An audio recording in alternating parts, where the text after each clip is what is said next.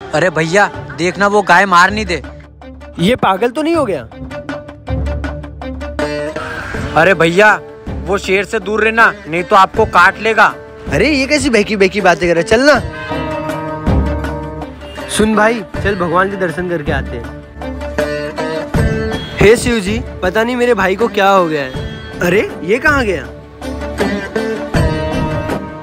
भगवान के दर्शन क्यों नहीं कर रहा है? मुझे आपसे कुछ बात करनी है। बाहर चलिए ना।